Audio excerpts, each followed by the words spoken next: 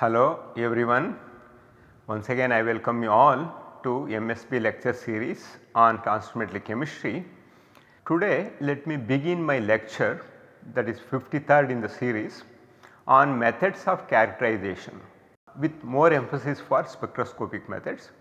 So far we discussed in length about coordination compounds and to an extent about organometallic compounds. In case if we make new organometallic compounds or coordination compounds to ascertain its purity and to know in what quantity we got and what is the yield, how we can improve to get all these things to get an insight into the synthetic procedure that was used and also to improve the method we should know what kind of compounds we got it. Of course, the mechanistic path and all those things we already discussed in my last uh, series of lectures. Now let us look into the characterization of these compounds. For that one we have to use analytical instruments as well as spectroscopic uh, instruments. So, let us start with UV visible spectroscopy. Before that I shall give a little bit introduction to the methods of characterization or spectroscopic methods that we have at our disposal. So, how to go with spectroscopic approach to understand the structure of a molecule and also its purity. Nowadays the spectroscopic methods are widely used not only by inorganic chemists, but also you can see synthetic chemists of course. Synthetic chemists when we talk it includes both organic chemists and inorganic chemists. And forensic chemists also it is equally important to analyze the samples and also to ascertain toxicity and all those things. And the environmental chemists also it is very very vital and of course biological chemistry is inseparable with spectroscopic methods nowadays and natural products chemists also when they make when they make new compounds or extract new chemicals from natural resources to understand what kind of compounds they got and what impurities are there and how to purify. So, spectroscopic uh, methods come very handy.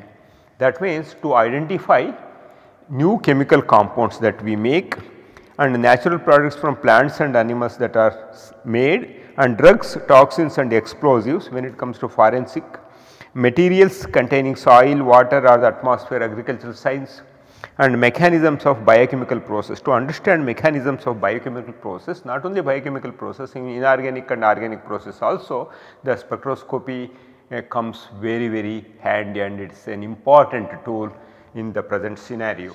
Let us look into spectral interpretation and general process we should follow for structure elucidation of an unknown sample. First what we should do is let us begin about purification of the compound. Let us say we have pure compound. How to ascertain? We have to go for CHN analysis or mass spectrometry data and NMR that would give you information about molecular formula. And then NMR, IR, UV can also give you insight into the functional groups present in it and NMR can also provide you information about substructures. For example, if we have whether we have methyl group, aromatic group is there and then carboxylic group is there. This all information comes and of course, X-ray gives a complete if it is a solid compound if we can able to crystallize and get single crystal suitable for analyzing or performing X-ray crystallography then we can get molecular structure. So, then about unsaturation. We can get information from molecular formula and then possible structures come from all these avenues. And then we can draw all possible isomers. And then once after writing all possible structures we can again go back to NMR, mass and IR data to arrive at most appropriate uh, structure. So, always we should have the habit of using more than one spectroscopic method or analytical method to ascertain the structure, to understand the purity of the compound, also to confirm that whatever the molecule we decide that we obtained in our synthetic method.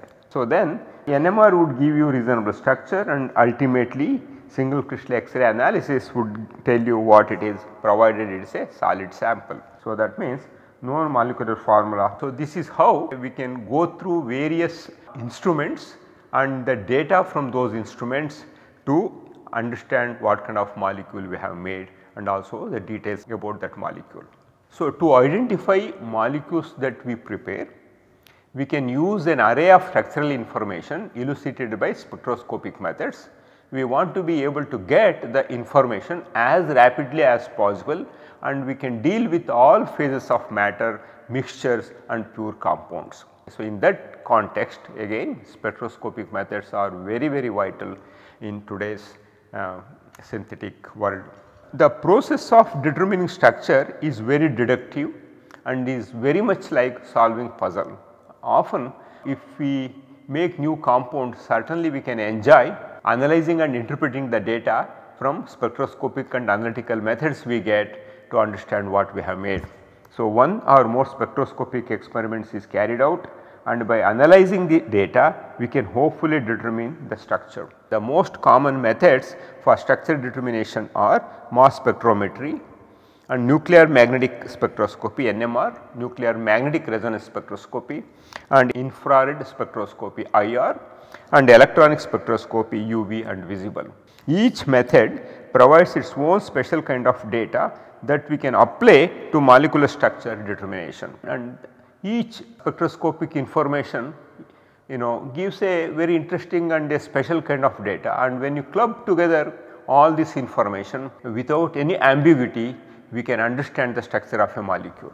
So, contributions from different form of spectroscopy comes towards understanding the purification of a sample.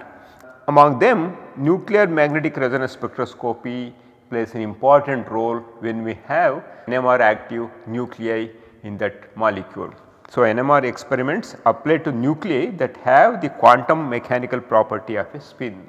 Uh, I shall elaborate more when I go to nuclear magnetic resonance spectroscopy uh, after completing this UV visible spectroscopy. So, time being let us know that all nuclear spin with I value half such as 1H, 13C, 31P, 15N or nuclear spin i equals 1 for example 2H 14N they provide information about the types, numbers and connectivity of particular atoms.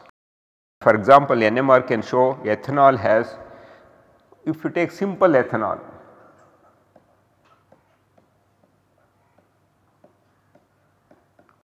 if you record NMR spectrum 1H NMR spectrum for this one.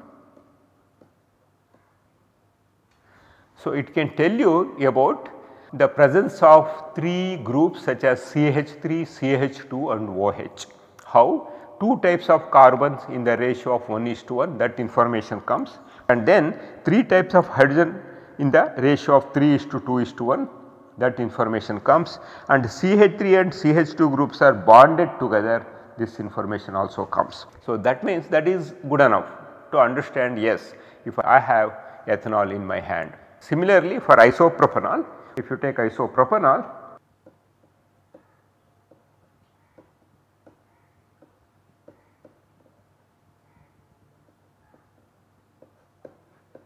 So, what you can get from 1H NMR is yes it has 2 methyl groups, 1 CH group and 1 OH group. For many molecules the entire structure can be deduced. So, routine NMR experiments are performed on solutions of the molecules of interest normally in deuterated solvents such as CDCl3, C6D6, D2O or even acetonitrile CD3CN and for many we only need a few milligrams. And in all these cases when we perform NMR we need very few milligrams of samples. About 10 percent of NMR active nuclei should be present in it. So, this depends upon the abundance of the isotopes we are looking at this is very very important if it is 100 percent abundant very small quantity is sufficient but the percentage of NMR active nuclei is small then we need more samples. NMR can be used to study mechanisms and also we can get an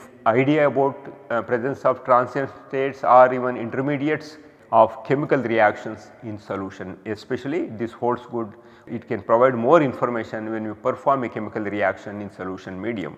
The samples may be mixtures. So, NMR in general is a method, but its most useful spectroscopic approach for determining the structure. So, NMR is a very general method, but it is a most useful spectroscopic approach for determining structure of molecules infrared spectroscopy also called as vibrational spectroscopy. So, IR spectra results from the absorption of infrared radiation that causes vibrations of the molecules. The spectra are typically presented as percentage transmittance or absorption. The peaks carry a lot of information such as functional group identification, structure information and even symmetry. So, IR is a very sensitive method and is used widespread in part due to its easy sample preparation. Very easy to prepare sample, we can record sample in solid state, in solution and also for gaseous molecules we can still record IR spectrum. The equipment used is relatively inexpensive, very compact and simple to use. A single spectrum can be run in just a few minutes. It does not take very long duration of time for recording a spectrum or preparation of the sample. Sample can be prepared in few minutes and also we can complete recording a spectrum within a few minutes.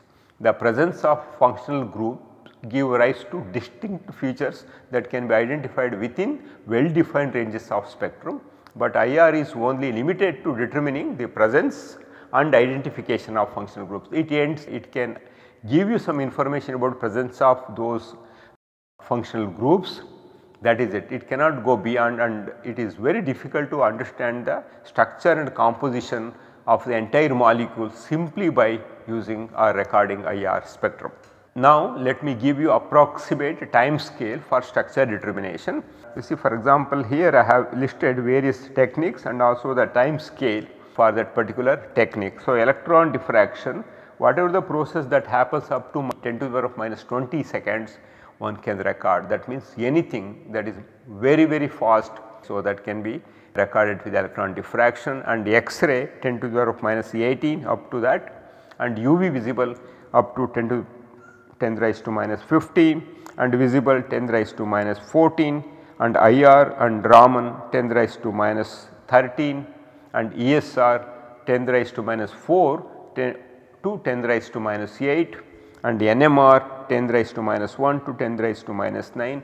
So, that means whatever the dynamic process that happens in the time scale of 10 to the power of minus 1 to 10 to the power of minus 9 can be identified by NMR. If the process is very slow, slower than 10 to the power of minus 1 or faster than 10 to the power of minus 9, then NMR fails to give any insight into those dynamics happening in solution fast kinetics 10 raised to minus 3 to 10 to the power of 2 and physical separation if any sample is stable for more than 100 seconds then one can uh, visually look into it and pick them hand picking can be done too and if they have different morphology one can do hand picking under a microscope. So, this is very very important information as far as time scales are concerned for various techniques. So, now this gives electromagnetic radiation applied in different techniques here. So, our attention is ultraviolet. So, now let us try to look in more detail about UV visible spectroscopy. Whenever we have to study something the question pops up in our mind why should we learn this topic and after all okay it makes sense here if I make this statement because nobody solves structure with UV any longer because just with UV you cannot solve the structure, but you need proof from many other instrumental data. So, that means why we should learn this stuff because many organic molecules have chromophores that absorb UV light and then UV absorbance is about 1000 times easier to detect per mole than NMR. So, that means very easy still used in following reactions where the chromophore changes useful because time scale is so fast and sensitivity is so high and kinetics especially in biochemistry and enzymology use or depend heavily on UV visible spectroscopy for the same reason. Most quantitative analytical chemistry in RNA chemistry is still conducted using HPLC UV detectors. One should remember about that one. If we ask why it is so important, yes it is very very important because of this quantitative analytical chemistry involved in doing UV visible measurements. So, one wavelength in that case what happens one wavelength may not be the best for all compounds in a mixture we have to use a range of wavelengths okay instead of using monochromatic we have to use a range of wavelengths so that it covers all absorption or transition that happens. So, affects quantitative interpretation of HPLC peak heights. This affects quantitative interpretation of HPLC peak heights. But one should know what compounds could and could not be detected by UV detector. One of the best ways for identifying the presence of acidic or basic groups due to big shifts in lambda wavelength for a chromophore containing a phenol, carboxylic acid etc. So, what happens if the peaks are shifted towards left we call it as hypsochromic shift or we call it is blue shift and if it is shifted other way around it is called bathochromic shift or it is also called as red shift. So, now uh, let us look into UV absorption process for saturated compounds. Saturated compounds anticipated electronic transitions are sigma to sigma star and sigma to pi star. They are high energy transitions accessible in vacuum lambda maximum is around less than 150 nanometer not usually observed in molecular UV visible. So, now if we have double bonds and unsaturated systems less energy for 2 pi star. As a result what happens? What we see is n to sigma star and pi to sigma star transitions. And non-bonding electrons or lone pairs are there. Wavelength will be in the range of 150 to 250 nanometer region. And these things are most common transitions among double bonded or unsaturated systems are n to pi star and pi to pi star observed in organic molecular UV visible observed in compounds with lone pairs and multiple bonds with lambda maximum will be in this range.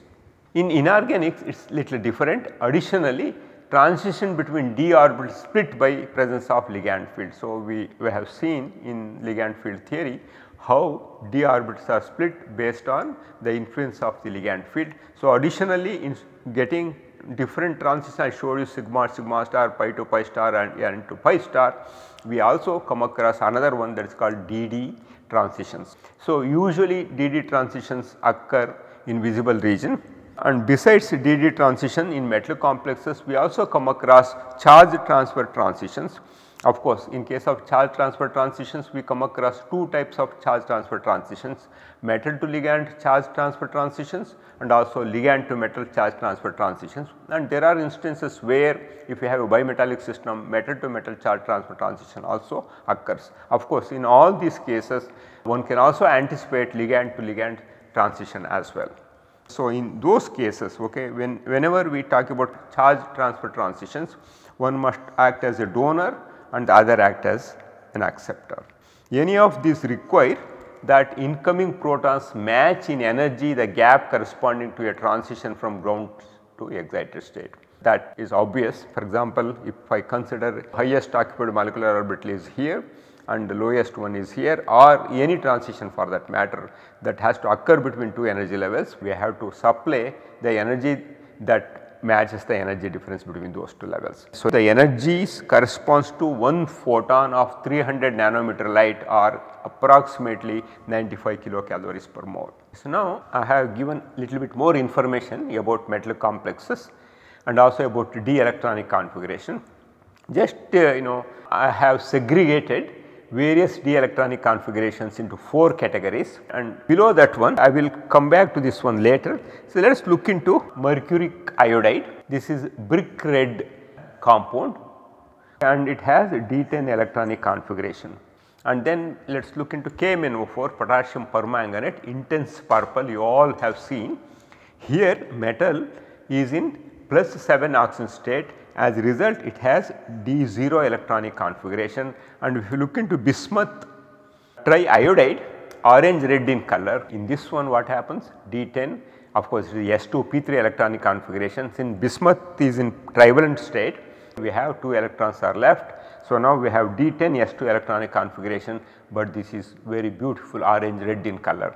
And then if you look into Prussian blue we have intense blue color you can see and that means here I am talking about metal to ligand charge transfer transition okay, and ligand to metal charge transfer transition and also we can come across as I mentioned ligand to ligand, but here metal to metal charge transfer transition can be explained here for intense color of Prussian blue molecule.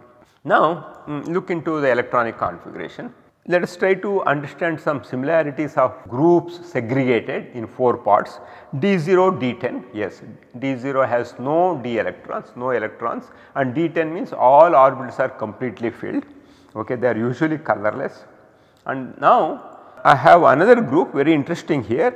So, this group includes electronic configurations such as D1, D4, D6 and D9 whereas the third one in the series includes D2, D3, D7, D8 and another one fourth one is unique it has a D5 completely half filled electronic configuration. So, completely half filled is fine and no electrons is fine and 10 electrons completely filled is also fine. Then how these second and third categories were you know, brought together? Yes, it is very interesting you can see one electron is there in d orbital and then if you look into this one one less than half filled electronic configuration. So, one electron is in D1 and one electron less than half filled electronic configuration and one more than half filled electronic configuration and one less than completely filled electronic configuration. Is that clear? In this group we have one electron system and one less than half filled electronic configuration and one more than half filled electronic configuration and one less than completely filled electronic configuration we have. So, now you can see some similarities among these electronic configurations of D1, D4, D6 and D9. Now, let us look into D2, D3, D7, D8. Now, 2 electrons are there here in the same way 2 less than half filled electronic configuration and 2 more than half filled electronic configuration and 2 less than completely filled electronic configuration. So, now it appears like later if I have spectra from all these electronic configuration I should understand yes probably in category 2 all these electronic configuration probably would show one type of spectrum or one type of absorption okay, or one type of transitions and similarly category 3 where we have D2, D3, D7, D8 also probably show one type of. So, just remember the significance behind this kind of classification you will understand as we progress with this course. So, now let us look into metal to ligand charge transfer MLCT we call it as. If the metal is highly oxidizable the transition will occur at low energy if the metal has a low oxidation number. So, that means if the metal is easily oxidizable the transition will occur at low energy if the metal has low oxidation state or oxidation number. If the ligand is easily reducible with low laying empty orbitals like pi star in a case of aromatic ligands or carbon monoxide, sigma star in PR3 etc. That means basically metal to ligand charge transfer occurs if the metal is in lower oxidation state. If it is in lower oxidation state it is electron rich and also it is in lower oxidation state and also when it is electron rich uh, because of repulsion interelectron repulsion it is prone to oxidation that we have already seen in our uh, oxidative addition reaction uh, reductive elimination reaction scheme. So, that is one criteria in order to see metal to ligand charge transfer transition. On the other hand ligands should have empty orbitals to accept electrons given from the metal. So, that means metal to ligand charge transfer that obviously the name itself says that electrons are coming from metal to ligand. Usually when we make a metal complex ligands donate through sigma donation. If the metal to ligand comes it has to be in the form of pi electrons you should remember. So, that means pi acceptor capable ligands can facilitate metal to ligand charge transfer. In that case non-classical ligands such as carbon monoxide, phosphines, olefins, pyridines and all those things play a major role. Examples for metal to ligand charge transfer includes 2,2-bipyridine, 1,10-phenanthroline, carbon monoxide, cyanide and thiocyanate. And uh, if you just look into this compound here, this orange colored complex is being studied as the excited state. Resulting from this charge transfer has a lifetime of microseconds and the complex is a versatile photochemical redox reagent. And then we can also see for example tetracarbonyl phenanthroline tungsten complex or tricarbonyl bipyridyl iron complex etc. So, let me stop here and come back in my next lecture discussing more about uh, uh, UV visible spectroscopy and now we shall discuss about ligand to metal and then move on to understanding DD transitions in more detail. Until then have excellent time and also keep reading.